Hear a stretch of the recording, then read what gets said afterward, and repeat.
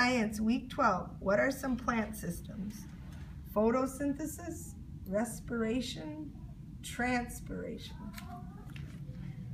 Okay, so for photosynthesis, it's like we're taking a photo picture. For respiration, just like you're breathing. And for transpiration, we're gonna do um, like transportation, like driving.